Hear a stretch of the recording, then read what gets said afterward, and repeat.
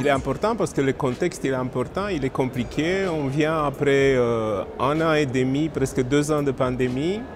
Et on se pose des questions. On se pose des questions sur euh, qu'est-ce que ça veut dire la pandémie pour le contexte européen, qu'est-ce que ça veut dire euh, pour la santé de chaque pays de l'Europe, mais aussi de l'Europe en général, parce qu'on fait, on est déjà une communauté assez grande. C'est compliqué parce que le Covid a venu avec de grandes questions économiques qui s'ajoutent au Brexit, par exemple, et qui posent des questions sur la force de travail, euh, sur le salaire, euh, sur tout cet, euh, cet enjeu. Mais c'est aussi important parce qu'on se pose toujours la question de qu'est-ce que nos citoyens représentent, si nous, on peut représenter les, les citoyens comme Conseil économique et social, qu'est-ce que c'est la société euh, civile en général organisée, qu'est-ce qu'ils font les syndicats, les patronats ou euh, les ONG en général?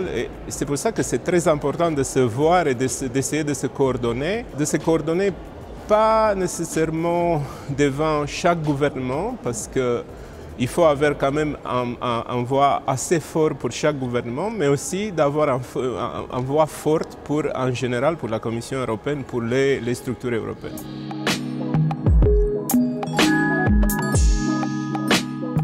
Chaque pays a sa, propre expérience sur qu'est-ce que ça veut dire la société civile. Et je pense que dans un contexte euh, pandémique, dans un contexte de Green Deal euh, euh, qui est très important pour jusqu'à 2050, il y a des objectifs qui sont très forts à, à achever. Il faut penser comment réunir la société civile européenne en général pour euh, exprimer euh, euh, des, choses importantes aux, dirigeants. Et la réunion, comme on disait, le président Baudet, mais aussi Madame Schwenk, c'est d'essayer de réunir un petit peu les, toutes les expériences des conseils économiques et social, plus anciens aux plus vieux, aux plus jeunes, et de voir comment on peut, on peut se coordonner dans ce sens.